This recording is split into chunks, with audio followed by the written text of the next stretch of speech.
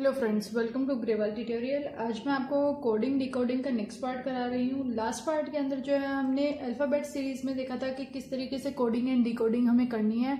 आज जो है, हम एक सेंटेंस लेंगे, या फिर कुछ ऐसा एक वर्ड होगा जो कि एक सेंटेंस को डिपिक्ट करेगा, दिखाएगा शो करेगा। तो उस तरीके से हम जो है, आगे इन चीज़ों को सीखेंगे। आज का हमारा जो फ़र्स्ट क्वेश्चन है, वो आता है, जैसे कि आपको स्क्रीन पर दिखाया गया है F O R stand for old is gold यानी कि ओल्ड इज़ गोल्ड को हम फोर से रिप्रेजेंट कर रहे हैं एफ़ ओ आर अलग अलग लेटर्स हैं आपको दिख रहे होंगे। नेक्स्ट आता है R O T R O T का मतलब क्या है? गोल्ड इज़ प्योर अब आपको फ़र्स्ट चीज़ ये देखनी होगी कि कौन सा वर्ड जो है रिपीट हुआ है। तो फ़र्स्ट जो सेंटेंस है हमारा ओल्ड इज़ गोल्ड और old is gold is pure दोनों के अंदर जो है इज़ और गोल्ड दोनों रिपीट हुए हैं। नेक्स्ट हमारा आता है R O M R O M का मतलब क्या है? गोल्ड इज़ कॉस्टली तो आपको बताना है कि pure old gold is costly को हम क्या लिखेंगे? यानी कि क्या बताना है आपको? Pure old gold is costly उसको हम किस तरीके से शो करेंगे? तो सबसे पहले हम आते हैं इस चीज़ के ऊपर कि गोल्ड जो है वो तीनों के अंदर है इज़ जो है वो तीनों के अंदर है। तो इसके अंदर हम क्या करेंगे, जो इज़ होगा, उसको हम क्या करेंगे ओ से रिप्रेजेंट करेंगे। इसका रीजन ये है कि ओल्ड इज़ के, जो इज़ है, वो गोल्ड से पहले है। अगर ऐसा कोई सेंटेंस आता है जिसमें तीनों वर्ड जो है इकट्ठे दिए गए हैं मतलब कि हर सेंटेंस में दिए गए हैं तो जो हम फ़र्स्ट अल्फ़ाबेट जो हमारा है, उसको हम कंसीडर उसी वर्ड से करेंगे जो उस सेंटेंस में पहले दिया गया है। इसी तरीके से जो है गोल्ड को जो है हम रिप्रेजेंट कर रहे हैं, जैसे कि गोल्ड जो है फ़र्स्ट में भी है सेकंड में भी है और थर्ड लाइन में भी गिवन है। तो आर जो है वो तीनों लाइन में गिवन है, यानी कि आर फ़र्स्ट में भी था सेकंड में भी था थर्ड में भी था तो गोल्ड क्या हो गया, हमारा आर हो गया। नेक्स्ट हमारा आता है, जब हमें फ़र्स्ट लाइन में ये पता चल चुका है इज़ और गोल्ड क्या है, यानी कि ओ और आर क्या है, हमारे इज़ और गोल्ड है तो एफ़ जो बचता है वो हमारा क्या है? ओल्ड है। तो जहाँ पर हमारा ओल्ड आया हुआ है, वहाँ पर हम एफ़ लिखेंगे। नेक्स्ट हमारा जो होगा नेक्स्ट जो रो है, उसके अंदर प्योर हमारा लेफ़्ट रह गया था तो प्योर हमारा क्या है? इसका मतलब टी जो है प्योर है, और लास्टली जो हमारा एम है लास्ट रो के अंदर, वो है कोस्टली एम यानी कि कोस्टली तो अब हम, हमें पूरा का पूरा ओवरऑल पता चल गया है कि क्या हमारा टोटली है। तो उसको अब हम रिप्रेजेंट कैसे करेंगे? प्योर को हम टी लिखेंगे नेक्स्ट हमारा ओल्ड को जो है हम एफ़ लिखेंगे, उससे नेक्स्ट हमारा गोल्ड को आर लिखेंगे इसको हम ओ लिखेंगे और कोस्टली को हम एम लिखेंगे। आपसे यही पूछा गया था कि pure old gold is costly को हम किस तरीके से लिखेंगे? तो ये जब ऑप्शन आपको गिवन होगा, ये हमारा करेक्ट ऑप्शन हो जाएगा। होप सो आपको जो ये क्वेश्चन समझ आया होगा कि किस तरीके से हमें इनको सोल्व करना है। नेक्स्ट हमारा क्वेश्चन है कोडिंग एंड डिकोडिंग का। ये सेकंड क्वेश्चन है आज के लिए। ये बोला गया है if goat is called ant यानी कि गोट बकरी को हम जो है चीटी बुला रहे हैं। Ant is called tiger next हमारा आता है tiger is called deer next हमारा आता है deer is called cow next आता है, हमारा क्वेश्चन क्या है? Which which of them is carnivores.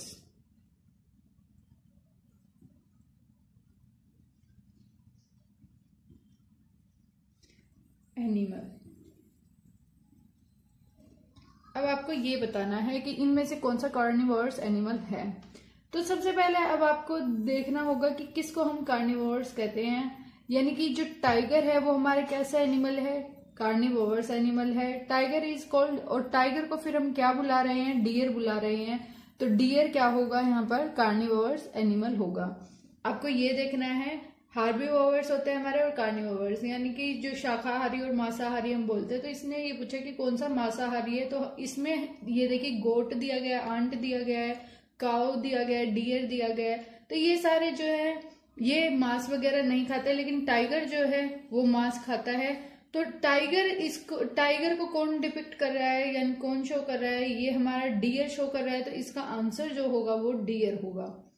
Hope so आपको जो ये क्वेश्चन समझ आया होगा। इस टाइप का एक क्वेश्चन जो है, हर एग्ज़ाम में पूछा जाता है, जहाँ जहाँ रीजनिंग आती है। ये देखिए if goat is called ant goat को जो बकरी है, उसको हम चीटी बोलेंगे, जो चीटी है उसको हम टाइगर बोल रहे हैं, जो टाइगर है उसको हम हिरन बोल रहे हैं, और जो हिरन है उसको हम गाय बोल रहे हैं। तो आपसे यही पूछा था कि कार्निवोर्स एनिमल कौन सा होता है? तो जो टाइगर है वो हमारा कार्निवोवर्स है, और उसके बाद जो है टाइगर को कौन शो कर रहा है? डियर शो कर रहा है तो डियर हमारा जो है करेक्ट ऑप्शन हो जाएगा। इसी तरीके का हम एक और क्वेश्चन करते हैं। देखिए, आज के लिए हमारा थर्ड क्वेश्चन है। इसके अंदर दिया गया है ब्लैक इज़ कॉल्ड रेड यानी कि जो काला है उसको हम लाल बुला रहे हैं। रेड इज़ कॉल्ड वाइट फिर उसके बाद हमारा नेक्स्ट आता है white is called brown brown is called yellow yellow is called blue. Blue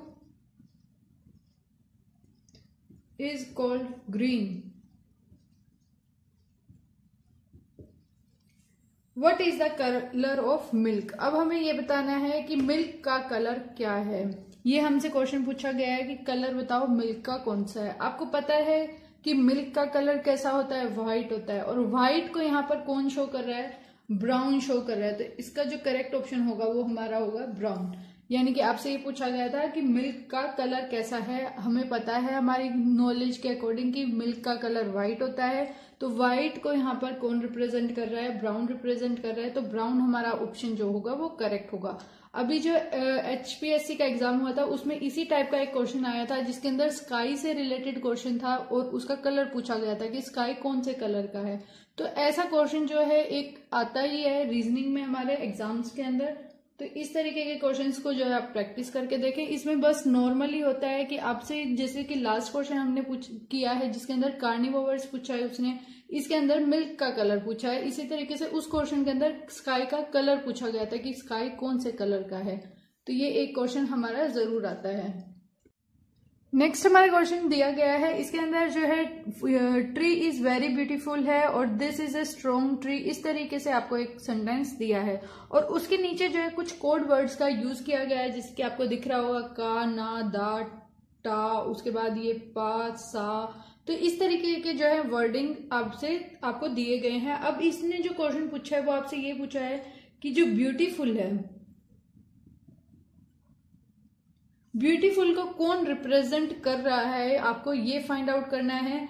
अब आपको ये नहीं करना कि डायरेक्टली ये जो है, यही ब्यूटीफुल को रिप्रेजेंट कर रहा है। ऐसा इसके अंदर नहीं होता। आपको चूज़ करना होगा कि कौन सा लेटर किस तरह कौन सा जो वर्ड है वो किसको रिप्रेजेंट कर रहा है। आपको पहले ये देखना होगा। अब देखिए, सबसे पहले हम ये देखेंगे कि इसके अंदर जो है, इस वाले के अंदर इज़ रिपीट हुआ है और साथ के साथ ट्री भी जो है रिपीट हुआ है। अब जो है, हमारे पास जो है इंफॉर्मेशन गिवन है ये रिपीटेशन में आए हैं दो वर्ड तो यहाँ पर भी जो है रिपीटेशन में ये आए हैं। ये रहा एक ना और एक का। इसके अलावा जो है, हम नहीं बता सकते कि दा और टाम इसमें से टी ए में से कौन सा वर्ड जो होगा, वो इसको रिप्रेजेंट करेगा। तो हम इसका ऑप्शन जो है डाटा इन एडुकेट आंसर जो है टिक करके आएँगे, क्योंकि हमारा डाटा जो है कंप्लीटली दिया नहीं है। यानी कि डाटा जो है इनकम्प्लीट है।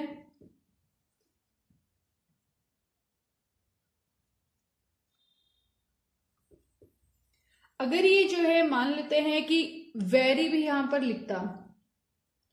और ये वर्ड को ये रिपीट कर देता। अगर ऐसे होता तो हमें ये पता चल जाता कि ब्यूटीफुल को कौन रिप्रेजेंट कर रहा है, ये वाला वर्ड रिप्रेजेंट कर रहा है। लेकिन इसने जो है, ऐसा कुछ इसके अंदर नहीं दिया, बस दो ही वर्ड्स को हम पता लगा पाए तो इसलिए ब्यूटीफुल को हम ये नहीं कह सकते कि वो दा है या फिर टा है। तो इसलिए हमारा आंसर क्या आएगा? ऑप्शन हमारा डाटा इन एडुकेट करेक्ट होगा। आपको ये भी ध्यान रखना होगा कि आप हमेशा ही ऑप्शंस में ना उलझें, क्योंकि कई बार डाटा भी हमारा जो है इनकम्प्लीट दिया मिलेगा आपको, जैसे कि इस क्वेश्चन में दिया गया है। नेक्स्ट हमारा फिफ्थ क्वेश्चन दिया गया है। इसके अंदर आपको जो है नंबर दिए गए हैं। Six four and three number आपको गिवन है। नेक्स्ट आपको five nine and three given है। फिर नेक्स्ट आपको फाइव सिक्स सेवन गिवन है।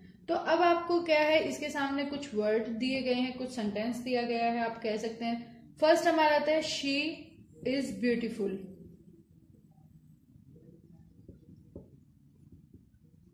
नेक्स्ट आता है ही इज़ हैंडसम फिर नेक्स्ट आता है हैंडसम मीट ब्यूटीफुल। ये आपको जो है गिवन है। अब आपको ये बताना है कि जो मीट है, ये किसको रिप्रेजेंट कर रहा है? यानी कि इसको कौन रिप्रेजेंट कर रहा है? आपको ये बताना है। सेम हम वही तरीका अप्लाई करेंगे। ये देखिए, इस जो फ़र्स्ट और सेकंड लाइन है, इसमें थ्री को जो है रिपीटेशन में डाला गया है। और यहाँ पर जो है आपको दिख रहा होगा इज़ जो है दोनों में आया है। तो हम कह सकते हैं, जो थ्री है, वो हमारा क्या है? इज़ है। नेक्स्ट आता है, अब जो फाइव है फाइव दोनों में गिवन है, जो ये वाला है और ये वाला। फाइव इन दोनों में गिवन है और जो हैंडसम है, वो इन दो में गिवन है। तो यानी कि हम फाइव को रिप्रेजेंट कर सकते हैं कि ये जो है रिप्रेजेंट किसको कर रहा है? हैंडसम को रिप्रेजेंट कर रहा है। नेक्स्ट आता है हमारा इसी तरीके से सिक्स जो है वो इस सेंटेंस में भी गिवन है और इसमें भी गिवन है। अब आपको ये देखना होगा कि इस वाले और इस वाले में कौन सी चीज़ें जो है मैच हो रही है। तो ब्यूटीफुल जो है दोनों में मैच हो रहा है। यानी कि जो हमारा सिक्स नंबर है वो किसको रिप्रेजेंट कर रहा है? ब्यूटीफुल को। अब आपसे पूछा गया था कि मीट को कौन रिप्रेजेंट कर रहा है? यानी कि हमारा जो नंबर सेवन है वो रिप्रेजेंट कर रहा है, क्योंकि हमें पता चल चुका है कि फाइव को कौन कर रहा है हैंडसम कर रहा है, और जो सिक्स नंबर है वो किसको कर रहा है ब्यूटीफुल को कर रहा है। तो इसके अंदर सेवन ही नंबर बचा है, और ये जो सेवन नंबर है, ये इसके अंदर एक ही वर्ड बचा था मीट और इसी का इन्होंने पूछा था। होप सो आपको आज के क्वेश्चंस अच्छे से समझ आए होंगे। अगर आपका फिर भी कोई डाउट है तो मुझे कमेंट में ज़रूर पूछें। साथ के साथ अपने फ्रेंड्स के साथ भी ज़्यादा से ज़्यादा शेयर करें। Thanks for watching